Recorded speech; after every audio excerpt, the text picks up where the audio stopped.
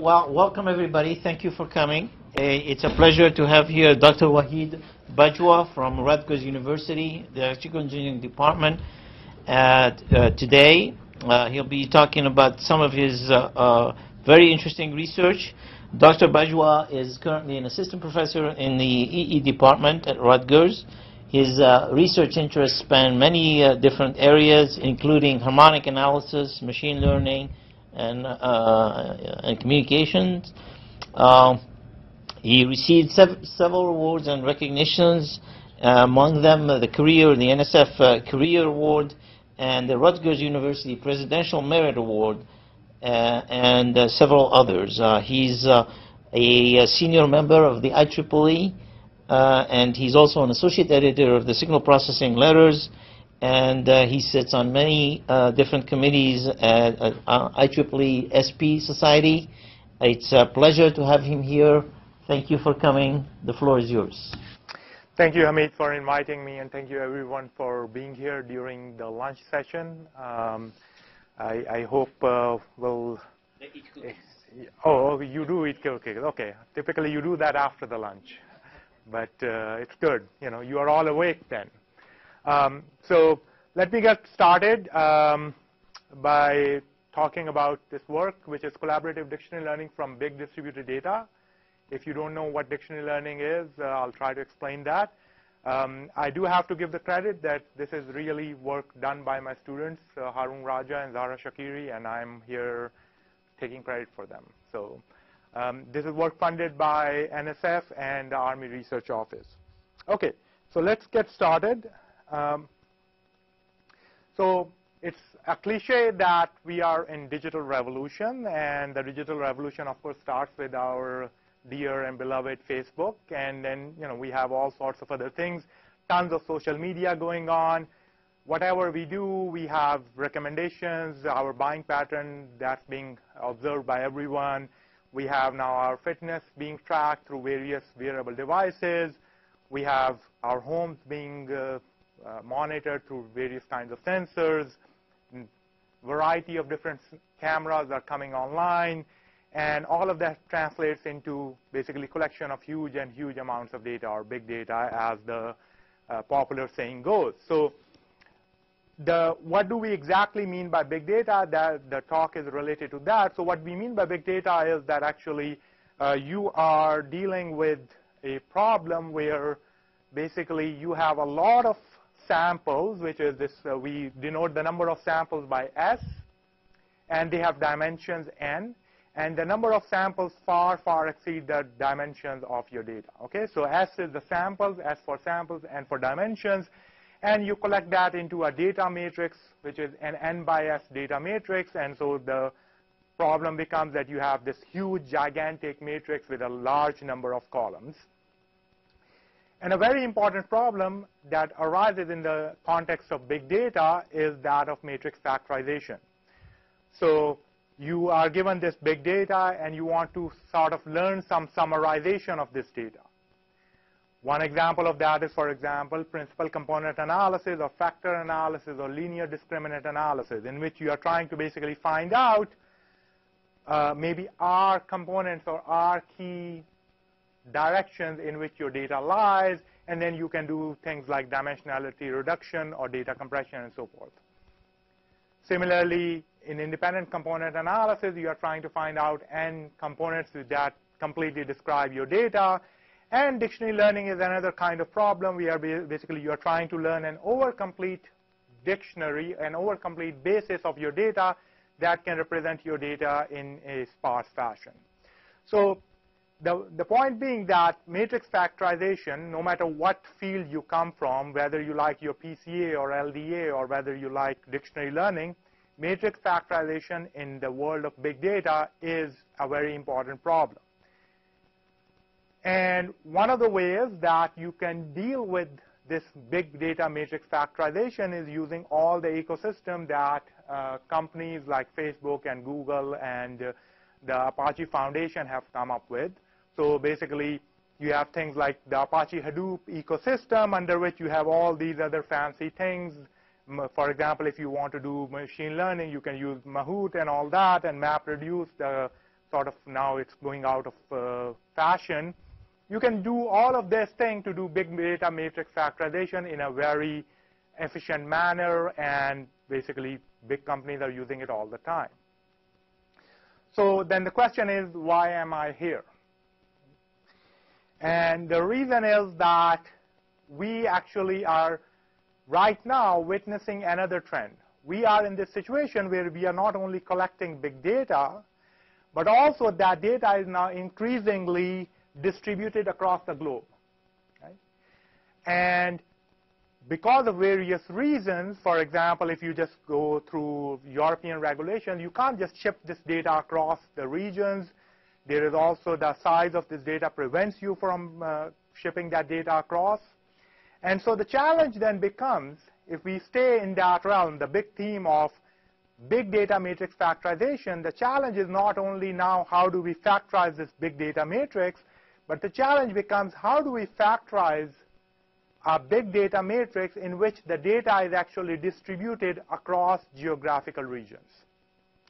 So that's the problem we are interested in. That's what this talk is about. If we have data which is distributed across the world, or whatever region you are, you can look at it from the perspective, if you like smaller Internet of Things kinds of example, you can think of it from that perspective. If you are uh, an internet company which has data centers, you can think of it from that perspective. If you have something like uh, AT&T Research, which has their call center data sets separated at different locations, you can think of it from that perspective. But the major challenge is now that this data is distributed across the world, how do we do big data matrix factorization? So distributed big data matrix factorization. That's the goal of this problem. Okay? And of course, I don't want to give this uh, a solution to this problem in all generality. So what I am going to do is focus on this problem from the perspective of dictionary learning, which I'll explain later. So hopefully uh, this uh, basic motivation is clear to everyone. Okay. So let's now then pose the problem in a more formal setting. Uh, so this is the setting. The idea is that we have basically n, capital N, is the number of locations or sites or nodes, whatever you want to call them. We have capital N nodes that are geographically uh, distributed, and each one of the node or site gets some samples, S1, S2, S3, and S4. Okay? If I collect all of that data together, we, we call that the global data. So that data is still a big data matrix, uh, big data matrix that we get, except that each one of these blocks of data is located at different locations. So this red data belongs to this side. In, in here, I'm displaying hospitals. So this red data belongs to this hospital, green data belongs to this hospital, and so forth. You have n data, uh, you have n locations, and their connections are described through a graph which has edges. Some of these edges may not talk to each other because of either privacy reasons or they don't have individual uh, contracts signed up where they can talk to each other or whatever other reasons. So the constraints of this problem are that local data sets, first of all, each of these individual sets are huge, they are big, and the raw data cannot be shared with other locations because of the size of these data sets. The other constraint is that the interconnections don't describe a fully connected graph. Some of the, it is a connected graph, but it's not every site can talk to every other site. Okay? And then the other thing is because you don't care what your, the neighbors that you are connected to, you don't care who they are connected to. You only know about who you are going to talk to. So if I am an entity and I am talking to another organization, I don't need to know what that organization is doing with respect to their personal communications. Okay, so I know my local topology, but I don't know the global network topology. And in this problem set, the, the challenge is that using my only local data and communication with my neighboring sites, I want to learn a dictionary which represents not only my data, but also is a good representation or is a good basis for all the global data.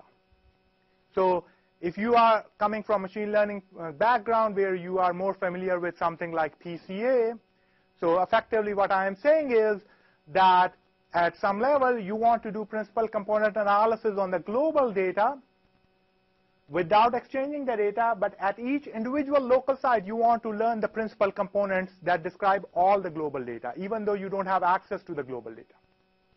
Okay? And as I said, we want to look at it from the perspective of dictionary learning because dictionary learning is actually a generalization of principal component analysis at some level. Okay, so if I am going to talk about dictionary learning, I need to tell you what dictionary learning is. So let me give you that uh, flavor. Now I am switching back to a centralized setting, okay, because I want to just give a sense of what dictionary learning does. So the centralized setting is I have data Y, and I want to represent this data, I want to do matrix factorization of Y into D times X, where I call this D as my dictionary. This is basically a matrix which has n, uh, which has n rows and k columns, and typically this k is much bigger than n. And this X matrix, which is called the data representation matrix, the columns of this matrix are sparse. So uh, the idea is that you you want to learn in an over complete basis that can represent your data, every sample in your data in a sparse fashion. That's what dictionary learning is effectively. Okay? Now, how do you pose this problem? Uh, that you basically do the usual thing. You are trying to do in any matrix factorization problem, the the thing is you're trying to do a goodness of fit, so you try to reduce this Frobenius norm, and then based upon what problem you are doing, you put some constraint on. So in dictionary learning, it is the same thing. You are trying to minimize this error of representation, y minus dx, and the constraint in dictionary learning problem is that each of the columns of my matrix X must be sparse. So you learn this D star X star. Now that is in a centralized setting. That is in essence what dictionary learning problem can be posed as. Of course, there are solutions to how you solve the dictionary learning problem. In our problem, of course, the challenge is that this Y is distributed across n sites. Okay? So the problem then boils down to how do we solve this optimization problem when the Y matrix is distributed across different sites, such that at each individual site, I get a dictionary, DI, which is close to the dictionary that you could have learned if you had access to all the data, which you don't. But you still want to go to that centralized solution without actually exchanging the data. Okay? So if you, uh, if you are on board, the, the themes we have talked about is you want to do big data matrix factorization. We want to look at it from the perspective of distributed data and dictionary learning. And if we understand the problem, then basically what we'll see after this are the following things. We'll look at a, we'll look at a very particular implementation of dictionary learning, which is called KSVD. We'll look at it from the perspective of centralized solution. Then we'll look at how do you actually change that problem into a distributed setting, collaborative, which, uh, collaborative dictionary learning setting, which we call cloud KSVD. And then we present analysis to ensure that indeed the solution that we are providing for cloud KSVD ensures that your solution is close to the centralized solution. And the final thing is that uh, we will talk about application of Cloud KSVD for nonlinear classifier training. Uh, this is a strand of work that started in our original paper in Allerton in 2013. We did a series of conference publications, and then finally the, the final journal paper appeared in January of uh, this year. Now, I do want to mention before going ahead that, of course, doing distributed processing is an old problem. Most of that problem has been looked at from the perspective of sensor networks. But in the problem of data processing, there does exist some work, for example, that focuses on things like principal component analysis all of that work is focused on sensor network setting. Um, and there actually some of that, uh, uh, Professor Krim has also actually, is, I think, one of those papers. And then for distributed dictionary learning, there has been some work, so this is sort of appeared around the same time that our Allerton paper appeared. These are the three major references. Now there is more work going on. But again, one of these works mostly focused on a sensor network setting where you were not actually learning the entire dictionary at each node. And these other two works, they work pretty decent, but there were no theoretical guarantees associated with it. So that's how we differentiate from the work that uh, existed in the literature prior to this. Okay. Any questions up to this point? Any clarifications? Okay.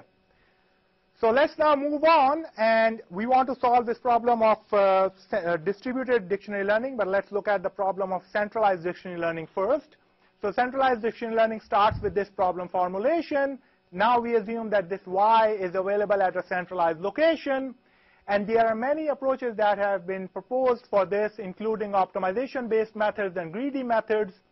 We are going to focus on one of the greedy methods called KSVD because of the following reasons. First of all, KSVD is greedy and it's extremely fast. It also includes individual steps that are more amenable to distributed processing. And then it's also guaranteed to converge, although no, not, not necessarily to a global minimum under certain conditions. So we'll focus on, in centralized dictionary learning, on the KSVD algorithm. So let's look at what KSVD does. It's a very brief review. So KSVD initializes with the data matrix Y and a dictionary that you could say it randomly picks any initialization. And then it does the step what is called sparse coding. So you are, of course, trying to factorize your y into dx, and the way it works is an iterative uh, approach where it fixes d, updates x, and then fixes x, updates d. So sparse coding is the step where it's fixing d and updating x, and the way that does is a simple this lasso problem where basically for each individual sample, it simply minimizes the 2 squared uh, subject to this sparsity constraint, and you can use many algorithms like orthogonal matching pursuit, lasso, or any of the other variants. The, of course, th there is no novelty of KSVD in this part. Then it comes to, then it fixes X. Now it has learned X it wants to do the dictionary update part, and that's where the key novelty of this work lies. Instead of updating the dictionary all together, what it does is actually it breaks that dictionary update into one column at a time. Okay? So now within dictionary, what it does is it fixes all columns except one, updates that, then fixes all the other, updates the next one, and so forth. It does this cyclic update of the columns. And all the, the novelty of this work actually comes into this part, which makes it really efficient. So what it does is basically for the dictionary update stage, so let's assume that you have fixed all the columns except the kth column. What dictionary update step in KSVD does is it basically goes to the kth column that you are trying to update, and it finds out all the coefficients that are related to that kth column, which tells it the samples that are using the kth column. Okay? So you have a large number of samples, you have S number of samples, but for any given column, because of the sparsity, not every sample is using that kth column. So the idea in the update of the kth column is that you only want to update the, uh, the you only want to update the column using the samples that are actually using that column currently. That's the whole trick behind the efficiency of KSVD.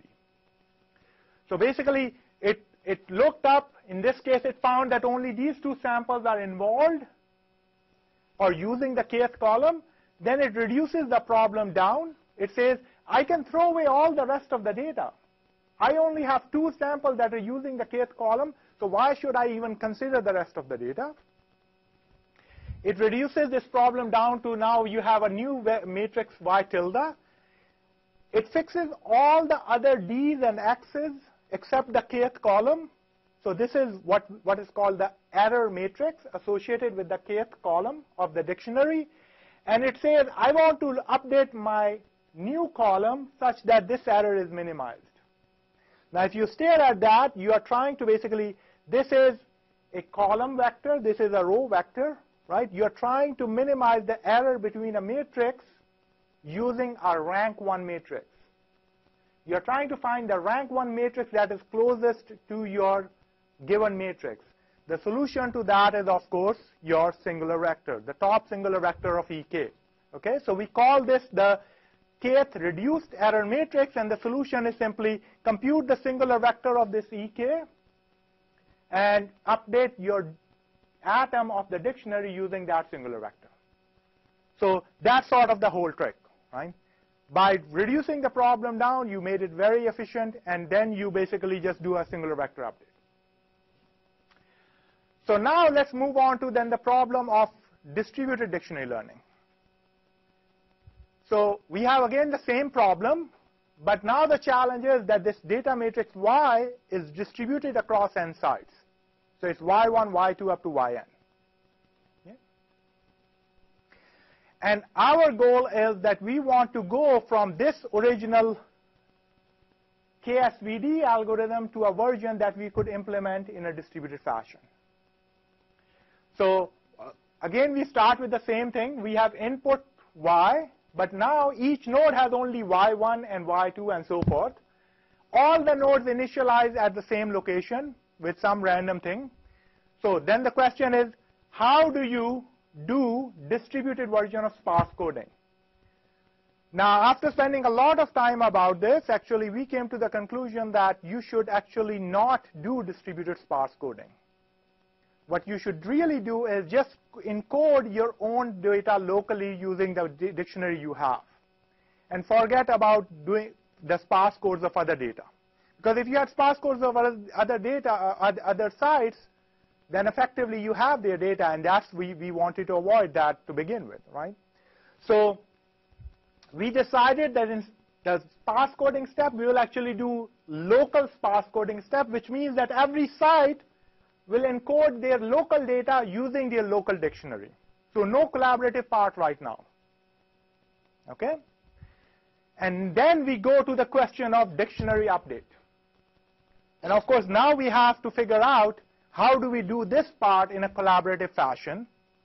Right? Even if we did that even locally, then there is no collaboration. Then we are just learning dictionary using our own step. Yes?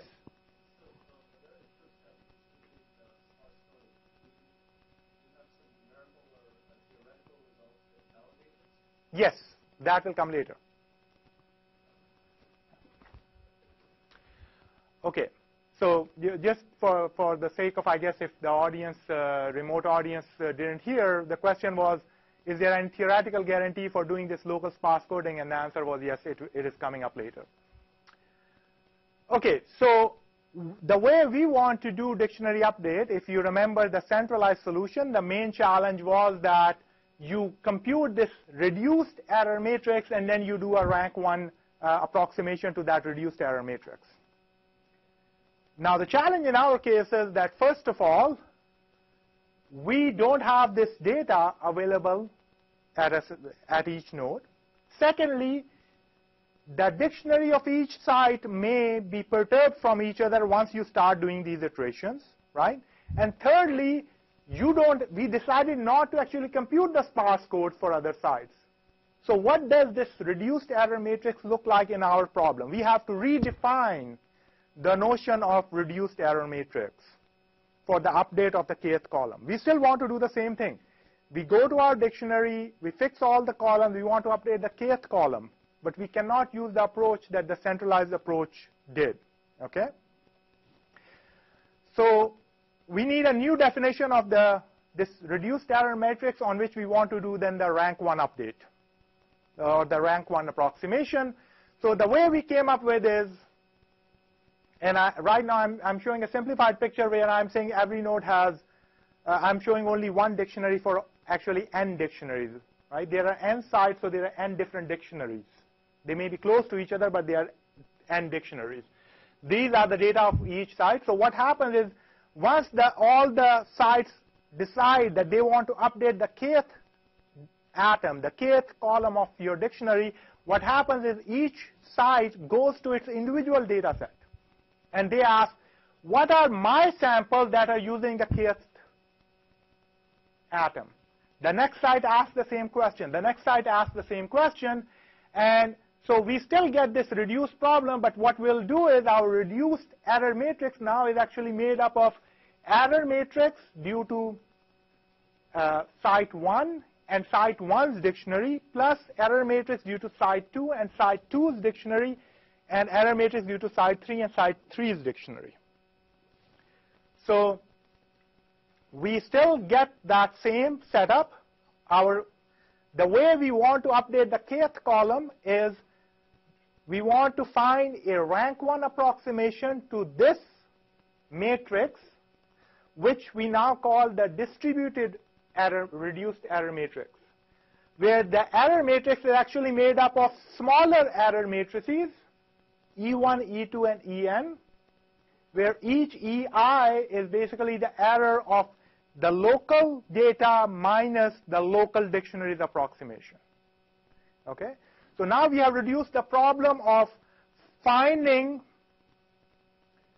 the, the kth column to be rank 1 approximation of this matrix where this matrix is distributed. Right? Because each node can compute this data individually. So the solution of that, of course, will, is still going to be the same. It is going to be rank 1 approximation. Still, you want singular vector of EK to be the update for your, uh, for your dictionary atom. Okay? And if you if that's a singular vector, then you can actually that is the same as the dominant eigenvector of the outer product of your big error matrix, EK, EK transpose. So effectively, the problem then gets reduced down to the following. You are looking at the outer product of EK, which is given by this. So EK, this is EK transpose you can write that as summation of MIs. So what, what is summation of MI? That's the outer product of each local site's error matrix. Okay, so each MI is the outer product of, of your local error matrix. So the problem then further gets reduced to you have a problem where you have, think of n sites, each site has a big matrix, and you want to compute the top eigenvector of the sum of all those matrices. Okay? Now it's not concatenation of those matrices, it's the sum of those matrices. Yes?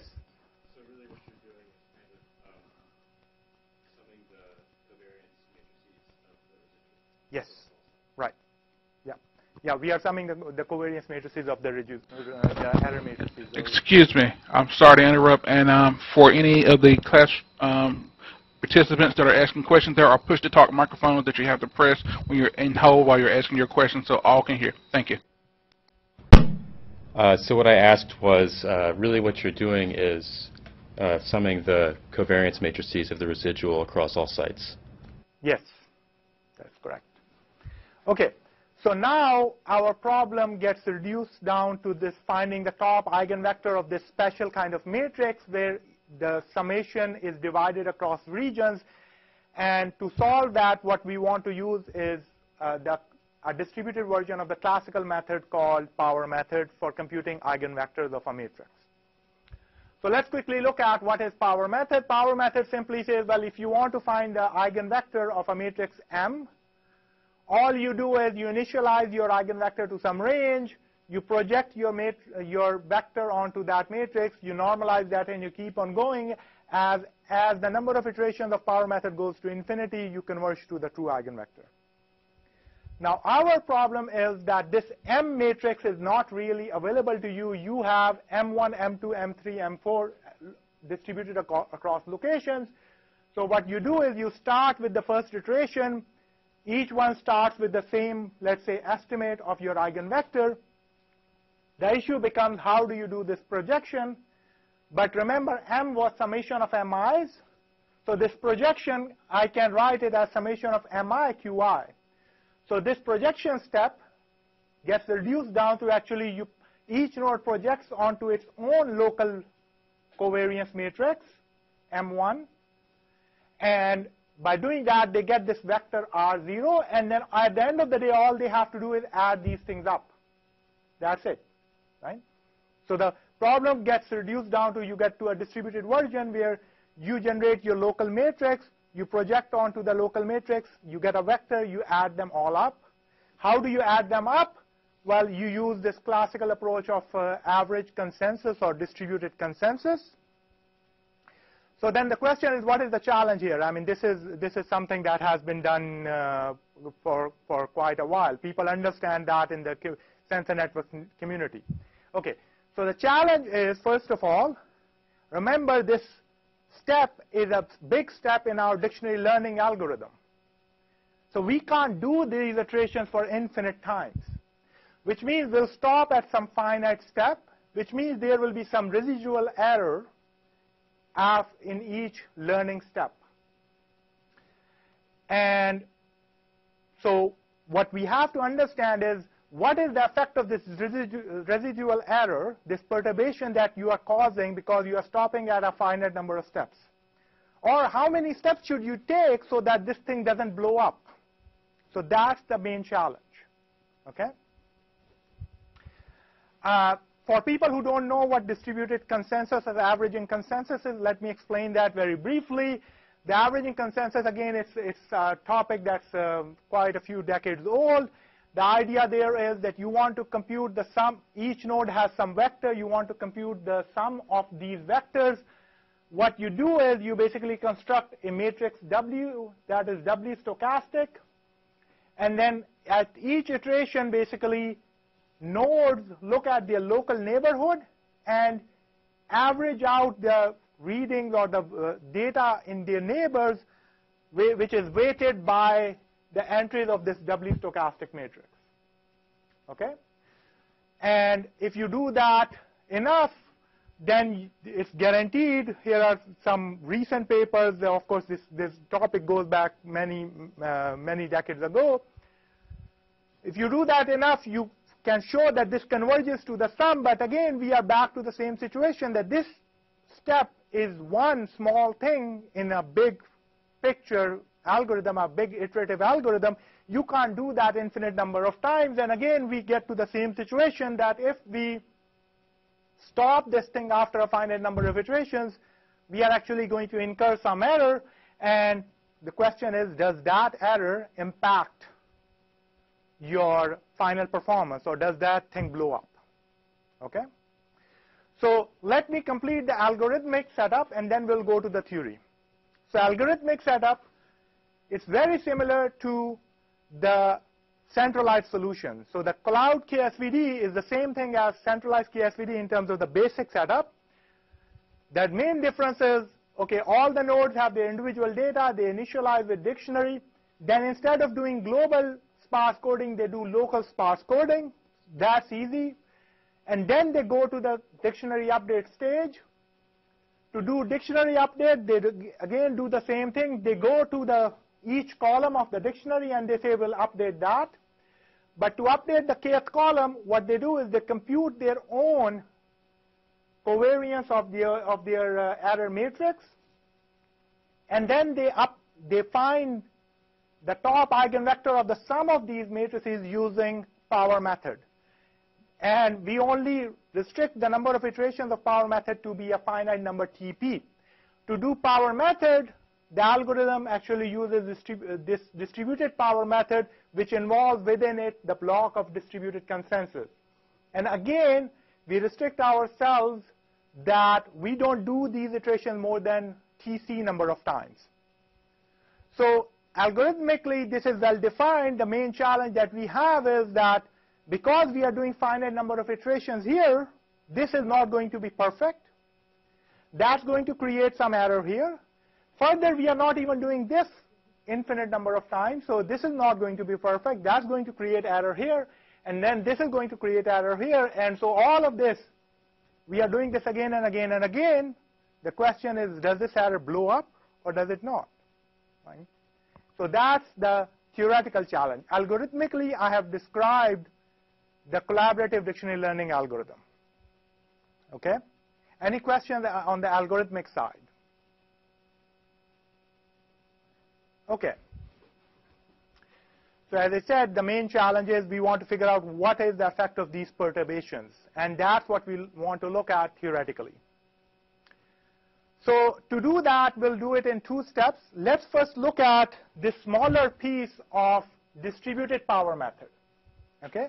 We'll first argue that this thing can stay, remain stable as long as you don't have a, a large number of iterations, uh, as long as you do enough iterations of distributed consensus. So the result for that is actually, we can just give it in an abstract setting. The setting is this, that you have a matrix M, which is divided across the sites, and you are interested in computing the eigen, top eigenvector of sum of these MIs. And you are using that distributed power method, and the result says that the error between the estimate, the worst error, so max over all the sites, the error between the, the eigenvector that you obtain at any individual site and the true is given by, is, it is order of these two terms. If you look at this, this error is due to finite number of consensus iterations. This is basically lambda 2 over lambda 1 is the ratio of the second largest eigenvalue of uh, your matrix to the largest eigenvalue raised to the power TP, and this error is due to the fact that you are doing a finite number of consensus iterations. If you did not do finite number of consensus iterations, this will be zero, and you will get back to this result, which is actually a classical result in power method error, okay? Uh, but for that to happen, for the error to scale like this, the condition is that the number of iterations must scale like this where tau mix is related to the mixing time of the random walk that's associated with your doubly stochastic matrix W. Let's ignore that part for the time being. Uh, that is whatever the constant is, that depends upon the topology. But if I forget that, then what this is saying is, to achieve this error, you must do the number of consensus iterations that is linear in the number of power method iterations that you want to do. If you do your consensus iterations that is linear in the number of power method iterations, then your error will not blow up. Okay? So here, here is a, uh, here, or it will keep on going down in this uh, geometric fashion. So here is a proof of that. Uh, we, are, we are just doing a power method result. So here is the number of power method iterations, and here is, and there are plots for different consensus iterations. And this, uh, so in general, what you want is that the error is going down, okay? But for different number of consensus iterations, you hit a floor. You stop going down because your consensus iterations are not increasing with your power method iterations. Okay? So if you want your error to be to keep on going down geometrically, you better make sure that your number of consensus iterations are linear with the number of power method iterations. So that's the stability of the distributed power method result. Okay.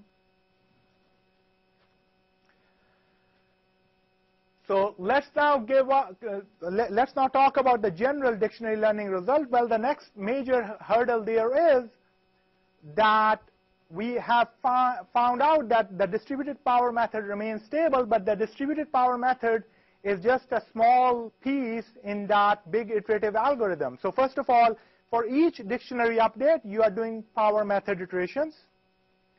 So error in power method is going to cause error in dictionary. And then when you go to next dictionary atom, it uses the previous dictionary atoms.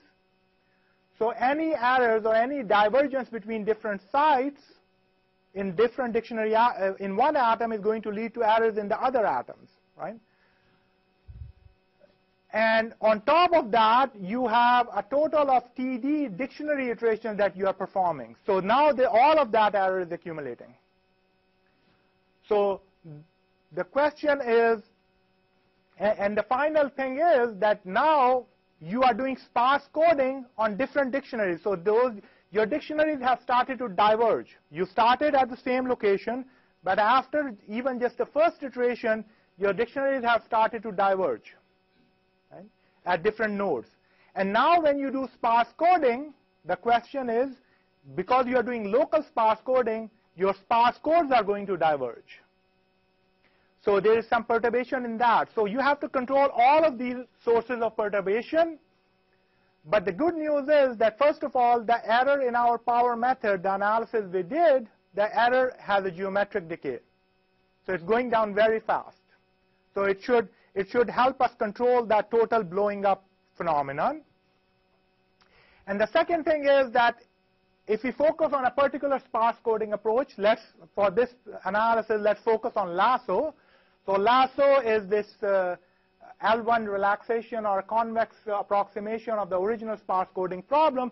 Well, this is a convex program, and we are saying that different dictionaries now have, uh, different sites now have dictionaries D that are diverging from each other.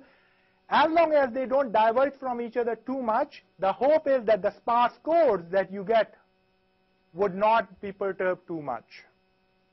Okay?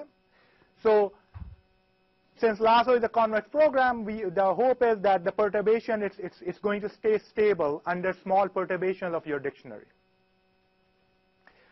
So if you put all of these things together and you sort of put them in, in the analysis of perturbation theory and linear algebra, you shake things, then it turns out that actually you can get a result that helps you control all of these errors and you can provide what is the number of iterations for consensus, power method, and dictionary that you need to do.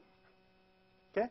So with the, not going into the details of that analysis, I'll give you the result, which is of course based upon some assumptions.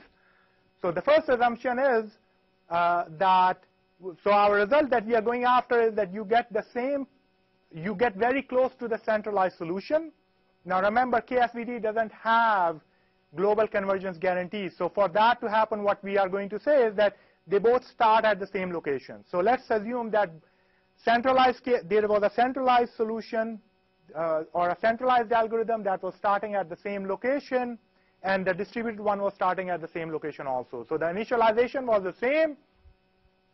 For sparse coding, we are using lasso. This result can be extended to OMP because there is perturbation analysis for that, but we would not worry about it in this.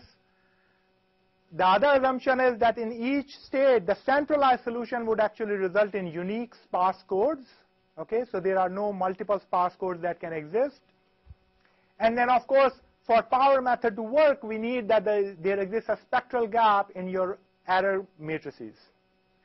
So under these assumptions, the result comes out which says that you reach the centralized performance. So let's parse this result a little bit more. So here is the result. The first part is that it says, so this is, this is your dictionary atom, kth atom of the centralized solution after TD iterations. And these are the kth atom of your distributed cloud KSVD at location i after TD iterations. And what it is saying is that the worst error among, over all the sites and all atoms is going to be small. So delta D is some small number. So you can indeed, if you start at the same location, you stay close to the centralized solution after TD iterations. So that's the first implication of this result. But for that to happen, you need to do a certain number of power method and a certain number of uh, consensus iterations. Otherwise, this would not happen. Okay? So for that, it says that the number of power iterations you need to do needs to be linear in the number of dictionary iterations times the number of dictionary atoms that you have. Okay? So it needs to be linear in the number of dictionary iterations times the number of atoms that you have in the dictionary. And the number of consensus iterations we already talked about, it needs to be linear in the number of power method iterations. So if you plug that in, effectively you are saying that the number of consensus iterations also needs to be linear in the number of dictionary iterations times k. But the most important part though is that these results, the dependence on the number of samples So if I increase the number of samples, the dependence is only logarithmic on the number of samples. The number of iterations that you need to do for your power method iteration, that only depends logarithmically on the number of samples. It does, of course, depend upon that, but the dependence is very weak. Okay? So let's look at uh, what kind of results that we get. Yes? Can, can you press the button? Two.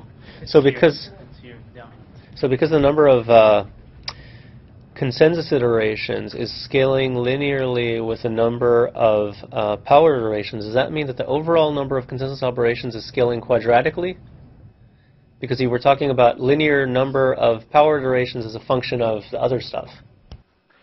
Uh, no, I, I just replaced TP with this thing, right? Right, but I'm, I'm saying that like if I if I'm understanding correctly, at the beginning you'll have a small number of uh, consensus iterations, and as we iterate, you have more and more consensus iterations. Is that correct? Uh, no, so TP is the final number of iterations that you are doing. So our result, uh, you can you can make it work like what you are saying, which is that you actually start small and then build up, and that definitely works, but that makes the analysis a little bit tedious. So this is just this is just a constant. When you run the algorithm, you decide that I am going to do, let's say, 100 dictionary iterations, because in my uh, in my experience that is more than enough, and I am going to do, let's say, 20 power iterations. Well, uh, uh, sorry, I'm going to do 100 dictionary iterations, and I have 20 atoms, right? Based upon that, you figure out how many power iterations at least you need to do. And then based upon that, you need know how many consensus iterations you need to do. And we keep that fixed, constant. We don't, we don't grow it or uh, let it scale and start small. You can do that kind of analysis where you start small as the number of iterations. As you go higher down in the iteration count, you increase your consensus iteration. But we don't do that. Okay, Okay, so here is a quick analysis where we show that uh, we, we had 50,000 samples. We used uh, 15 power iterations, 15 consensus iterations in each dictionary update step. And this is the result, uh, the reconstruction error, which is the, or the representation error. What we show is, so the dotted is the cloud KSVD, the blue is the centralized solution, and the black is if I had used only my local data for dictionary learning. Okay, so we call that local KSVD. So you can see that uh, in terms of representation error, our performance is very similar to the centralized case, whereas the local SVD, KSVD actually has a different uh, representation error curve.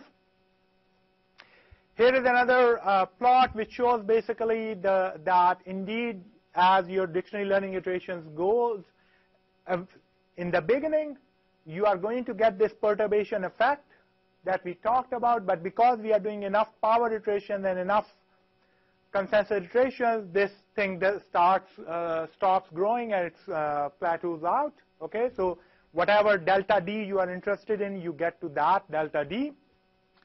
And I think uh, I am probably getting close to my time. How, how much uh, should? Couple of minutes. Okay. So I would not actually uh, go into the details of this problem, but one of the uh, in in the solution of this. But one of the ways is that actually the framework that we described, you could use that to actually solve a distributed classifier training problem. So the assumption now is that you have data, local, local data, and associated with that local data, you have some local, uh, local labels of the sample. And you want to actually learn a classifier that can exploit basically all this data as your training data without ever exchanging the, this training data. Okay? And there is a variant of, uh, I'm, I'm not going to go into that, but there is a variant of KSVD. It is called discriminative KSVD. Uh, I believe it was in Jiang et al. 10. and, or DKSVD, and it turns out that actually the DKSVD uh, problem gets reduced to the KSVD problem very simply, and because of the fact that the DKSVD or the, this discriminative KSVD problem gets reduced to the centralized KSVD problem, our cloud KSVD problem can be used for this distributed classifier training. So I, I, won't go into the details, but here are the results. Basically, it shows that we used the MNIST data set, had 10 sites. We used first five digits and divided that data across different sites. We looked at two cases of balanced training data and unbalanced training data. And as you can see, one approach is that each site could use only its own. So this is, this is the classification error, and these are the five digits, 0, 1, 2, 3. Each site, first of all, could, in the balanced data case, every site got the same amount of data. Each site could use its own training data, and the errors are high. But if we were to use this collaborative version, then the errors are as good as, for example, something like a centralized SVM problem. And here is the, the more interesting case, which, is, which comes up all the time, which is that of unbalanced training data, which means that you have uh, samples from one class more than the samples from other class. And so in that case, if you do, of course, the mean is we are getting the same performance, but local data, these error bars means that at some sites, because of the unbalanced data, at some sites the error is as high as 12 percent right? Because they, they are making errors in the data that they did not have access to. But by doing this collaboration, we are able to get rid of this unbalanced training data effect and get to a performance that that's as good as centralized solution. Yes? So I see in the figure on uh, number two, uh, your cloud KSVD is better than the centralized one. Uh, yeah, so cloud KSVD is uh, yeah better than the centralized DKSVD because uh, our analysis are not for DKSVD, right? Our analysis is for KSVD, and DKSVD I haven't gone into the details of how that was sort of built, right? But it could be that the, the perturbations ended up making us a little bit better. But again, our guarantee is that you are within a ball of the, the original solution, and our whatever solution we ended up with for classification, we ended up doing better. Uh, okay. Okay. So just to conclude, uh, basically what we are talking, uh, what we talked about here is that big data is not always just only big, but it is also distributed in many problems. And matrix factorization is an important problem in that realm. So how do you do big data matrix factorization when the data is distributed? We gave a solution in the case of dictionary learning. And the whole thing and the analysis can be specialized to PCA in a straightforward manner because the major challenge in PCA, again, is just doing singular value decomposition. And we have given a solution for that and the power method. Uh, so the preprints, or, or, or, I guess now they are postprints and code are available at uh, our lab website. And with that, uh, I'll thank you for listening. We have time for some uh, quick questions. Not a lot. We have time for some questions. Any questions? Uh, could you go back a few slides? I'm not sure I guess I'll just have to tell you when to stop. Um, it's before you got to this discriminative stuff. yeah, right? Go back. Yeah. So it appears that uh, at 11 power method iterations, you're doing worse um, in the first few, or in the middle of the uh, algorithm than with 9. Um, do you have any explanation for that behavior? Well, uh, because our consensus iterations are fixed, right? So, so the plots that I'm showing here, my consensus iterations are not changing. If I had, so technically, if I want to go from 3 to 11, I should start increasing my consensus iterations also. But I'm not doing that. Make sense? Okay. Yes. Sorry, yeah. You were mentioning that um, you're using a lasso type of approach uh, in the optimization, and what if you wanted to use another type of approach? So is that uh, easily changeable, or is it complicated? Uh, so it, the lasso type of approach uh, uh, in analysis, you mean, right? Yeah. So the main thing there is whatever approach you use, uh, let me go back, whatever sparse coding approach you use, the question is can you give some results on the perturbation analysis of that approach. So if I change the matrix or the dictionary that I'm using for coding a little bit, how much does my sparse code change? Uh, there is some work on OMP. As long as you can change that part, so whatever algorithm you have, if you can give a perturbation analysis of that, you can plug that into this and get a new result. So this thing, as I showed the big picture, this thing is made up of blocks, right? The main errors are consensus causes errors in power method. Power method causes errors in dictionary atoms. We have analyzed that. Dictionary atoms cause errors in sparse coding. And that is where you can just replace a new method, give a different result. That's all. I have a very quick question. Uh, so KSVD is, uh, is, is also known uh, to screw up badly as uh, you increase the number of dimension, the underlying dimension of, uh, of your data, basically uh, the number of subspaces in the sense that you have. how does that how does that impact your overall error when when the KSVD itself is right. not, is, so, not, is not converging. Yeah, this, this, is a good question. And as I said, uh, our result is actually not a convergence result. Our result is how close you track the centralized result. So you are absolutely right. All I can tell you is if KSVD and we started at the same location and we did some walk and did something, we'll end up very close to each other. But if a KSVD ended up at a horrible place, then we are not going to, we can't guarantee you anything better than that. So, uh, so the underlying algorithm that you, we are using, actually all the, all the good parts and all the bad parts we inherit. The, the, the, I think uh, the, the ultimate question, uh, at least in my mind, is what if one could use actually the KSVD on a smaller number of sites and then increase the, si uh, the sites as you, you, you know, as you get basically progressively increase the sites.